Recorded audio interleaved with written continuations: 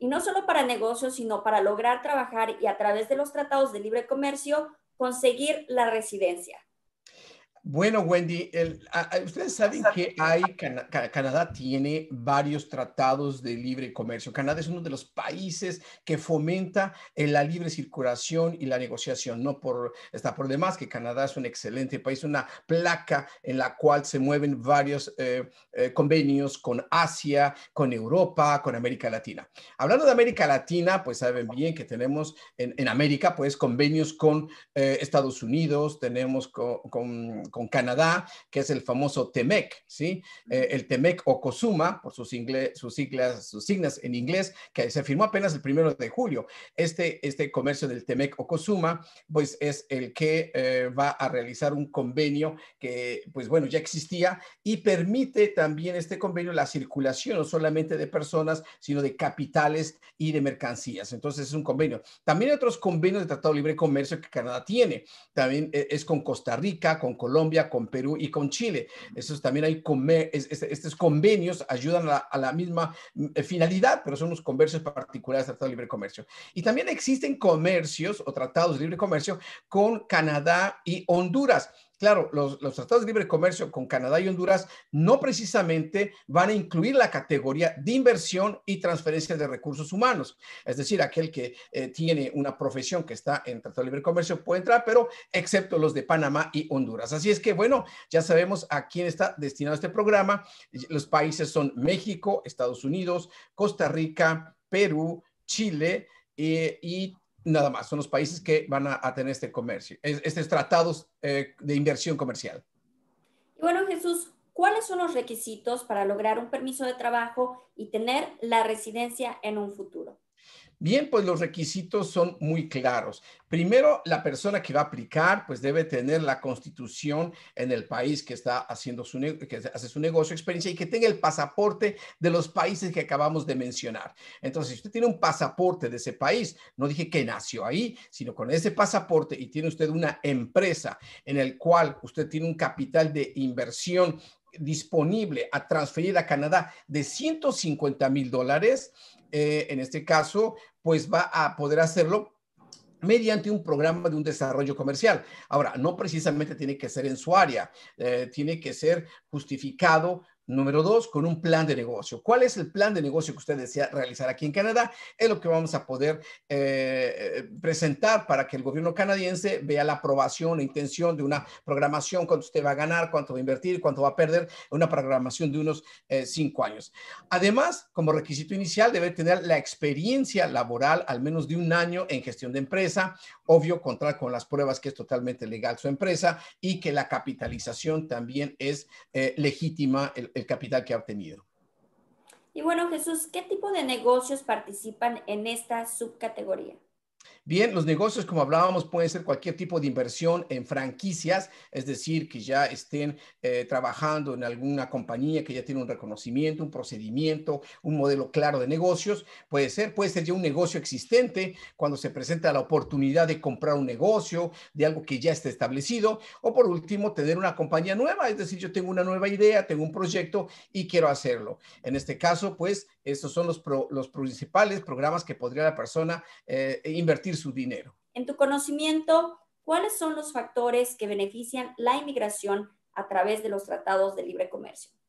Bien, lo que acabamos de mencionar al día de hoy es que si alguien tiene esa experiencia de trabajo, si tiene ese capital disponible en efectivo para transferirlo en su propia cuenta bancaria cuando crea un negocio acá y que presente un plan de negocios y que está interesado en obtener un permiso de trabajo, entonces los países que mencionamos tendrán un permiso de trabajo para el aplicante, su cónyuge, sus hijos. Ojo, no estamos hablando de otros tratados o eh, permisos de inversión como empresas o otro tipo de categoría de inversión. Esos son otros eh, factores que no entran en cuenta el día de hoy, porque tengo argentinos, precisamente, estamos trabajando en un proyecto de una familia argentina que va a hacer un proyecto no está en Tratado de Libre Comercio, pero está haciendo un proyecto propio por Columbia Británica. Hay algunos que los van a hacer por Alberta, otros los van a hacer por inversión de residencia permanente en Quebec, pero eso son otras categorías. Hoy estamos hablando solamente Tratado de Libre Comercio para las personas que van a invertir y obtener un permiso de trabajo.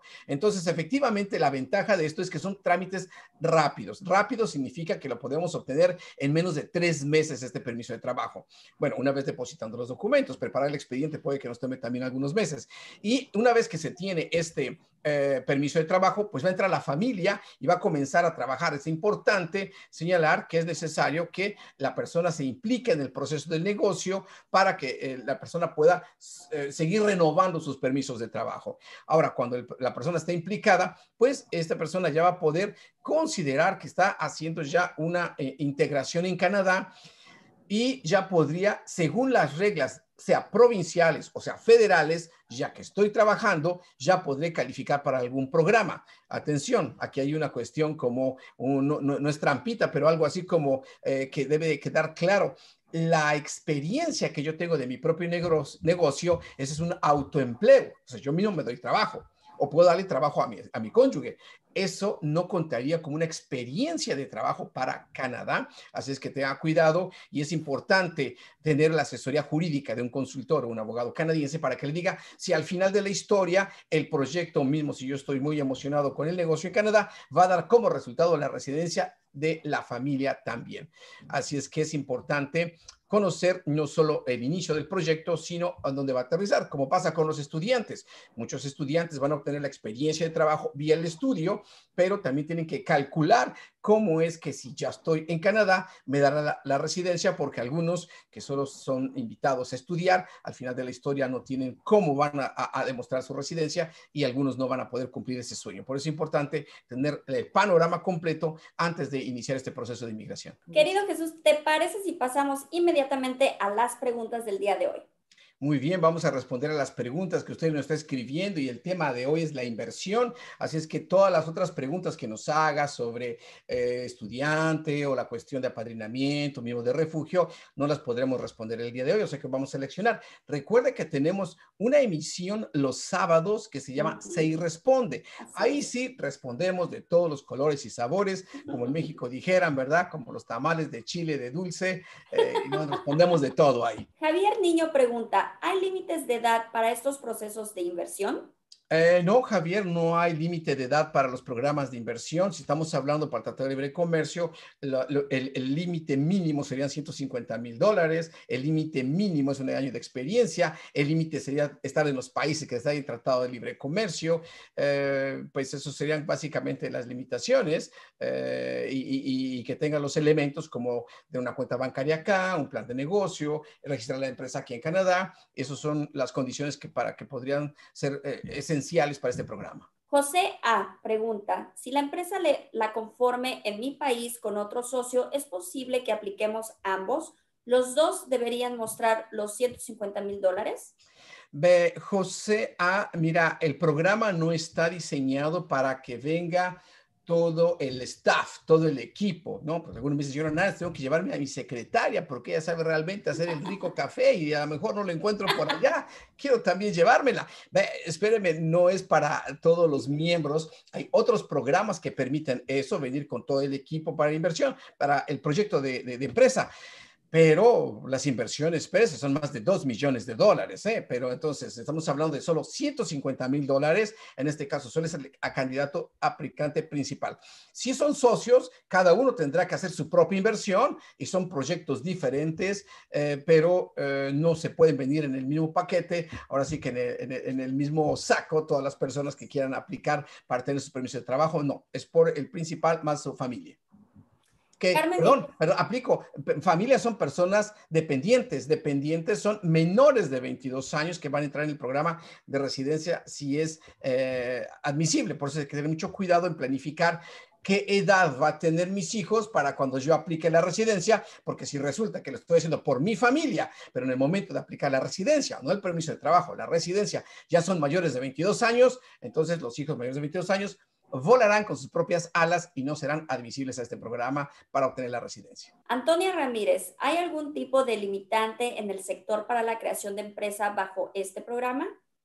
Eh, no, no hay un limitante bajo el sector, el único sector que, que ya está como borrado, eliminado, pues sos el sector de la industria del sexo, porque es una industria legal. Entonces, eh, algunos productos que se venden, pero ese es el único que no está limitado para esos tipos de trabajadores. Pero de ahí en fuera, todos los sectores están mientras sea lícito. Karen Munevar, señor Hernández, no tengo claro, mi familia la conforman mis dos hijos y esposo. Debo conformar 150 mil para la inversión, pero ¿hay otro capital para los miembros de mi familia? Karen, no realmente es el capital de proyecto que vas a realizar, eh, seas tú o él o los dos en Canadá. La familia es el acompañante eh, que nos viene, eh, que viene con ellos a estudiar o a trabajar si son menores de 18 años. Pero si son mayores de 18 años, no pueden tener este tipo de prestaciones. pero eso sería analizar caso por caso y, no, un grupo familiar solo 150 mil dólares. Roberto Díaz, no comprendo bien el autoempleo. Por favor, explíqueme. Si yo voy a invertir creando una empresa, lo más lógico es que sepa cómo va. Administrarla, soy profesional y cuento con experiencia en negocios. De lo contrario, me implica contratar a alguien para hacer el trabajo que sé hacer. Eh, bien, Roberto, eh, solo que quiero, a lo mejor no fue muy claro el hecho de que una cosa es que tú vengas a administrar tu negocio, a trabajarlo, a poder eh, invertir tu energía, tu tiempo, tu talento aquí en Canadá pero ese talento que vas a invertir, ese tiempo, si lo quieres transferir, lo quieres demostrar para una residencia permanente, no va a ser calculado, contabilizado del mismo valor que tú quisieras con los mismos puntos. Como un, por ejemplo, un estudiante que trabajó acá y dice, yo te bajé, pero para alguien, entonces le, certifican al, al 100% su tiempo de trabajo.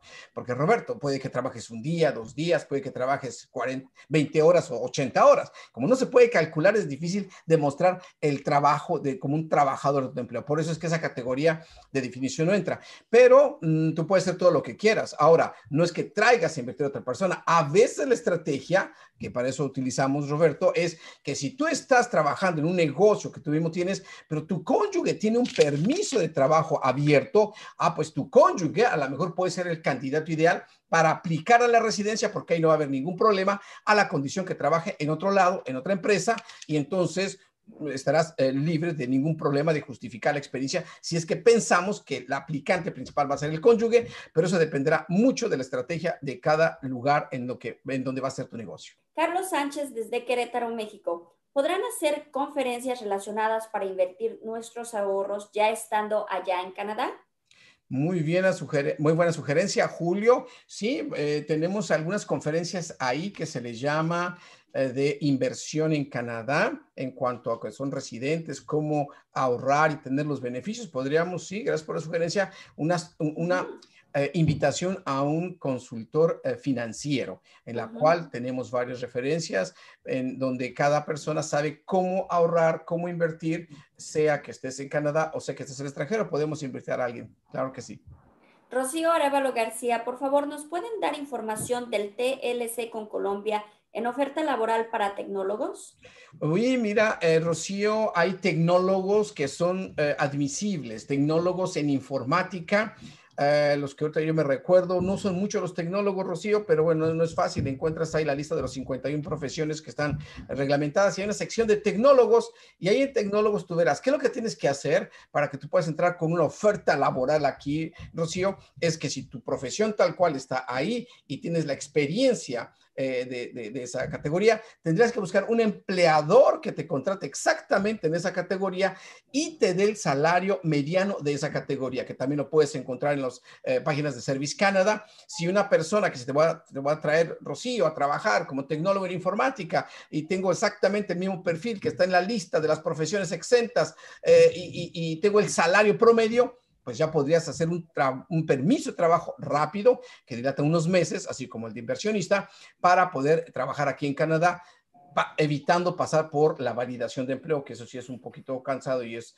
es eh, como dicen los canadienses, es cansón eso de estar pidiendo documentos, justificación del mercado de trabajo, si no invita a un canadiense, no está quitando el trabajo un canadiense, eso es el LMIA, el Labor Market Impact Assessment, es decir, un estudio de mercado que tiene que ser el empleador. En los tratados de libre comercio estamos exentos de ese LMIA. Elvin Ariel Rivera Hurtado, saludos desde Nicaragua, agencia OF. Cordial saludo, gracias por la información que brindan. Tengo empresa de eventos. ¿Qué tal sería en Canadá? pues eso, yo, no soy muy experto en la cuestión de negocios, eh, pero agencia OF tenemos de nuestro equipo comercial de los proyectos de negocio a el señor Luis Humbert, quien él ha trabajado durante muchos años en la relación con varios países para hacer el desarrollo comercial de América Latina en Canadá. Esa persona que tiene muchos años de experiencia con unas opiniones precisas te podría ayudar. Todos los clientes que tienen un contrato con SEI Canadá, si tienen un proyecto serio, pueden tener una entrevista incluida en sus servicios para poder tener una opinión comercial. Ahora, si haces un proyecto de eh, servicios con SEI Canadá, vas a poder eh, lograr tener esa opinión obvio y la, orientación para lograr ese eh, servicio del el plan de negocio.